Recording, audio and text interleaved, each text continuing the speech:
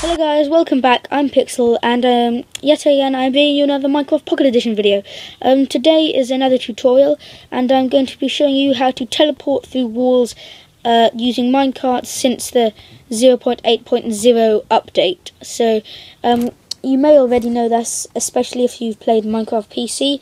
But um, if you haven't, uh, I'll be showing you in Minecraft Pocket Edition. But you will also um, know that you can do in Minecraft uh, PC, as I am telling you now, um, instead of the need of four command blocks.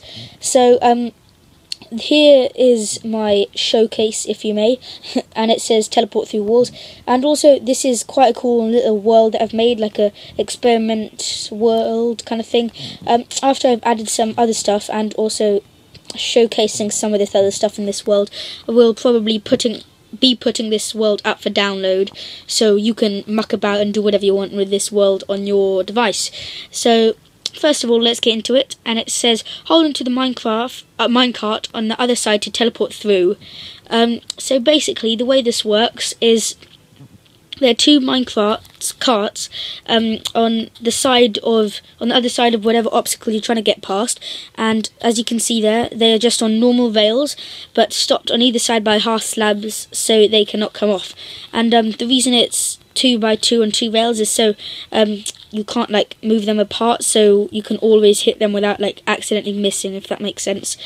Um, so that's that.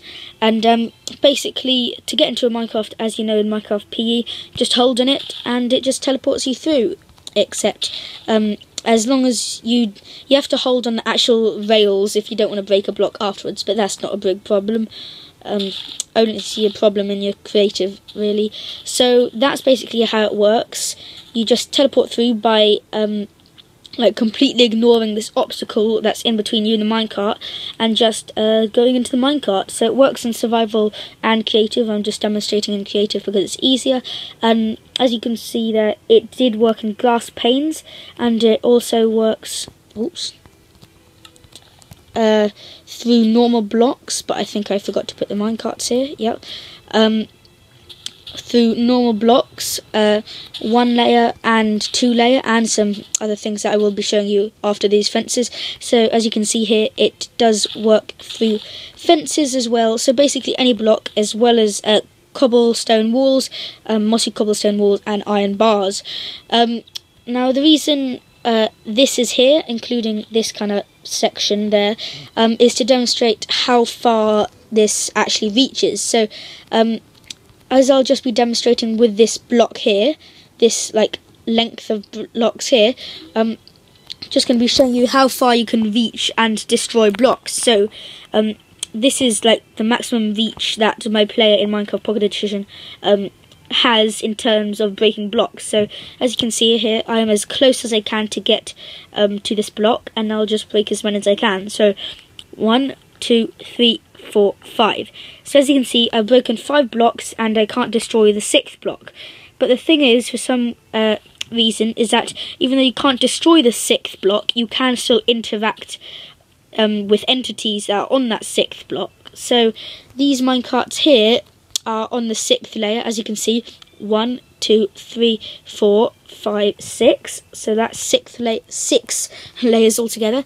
And if I just put uh, some layers in between just to show you. Uh, as you can see, oops, you just got to kind of like level it out right so you can actually be hovering over where the minecarts are. But as you can see, I did in fact teleport through all six layers. Well, teleport oops, teleport through five layers and interact with the entity on the sixth, therefore teleporting me to the uh, minecart which is on the sixth layer.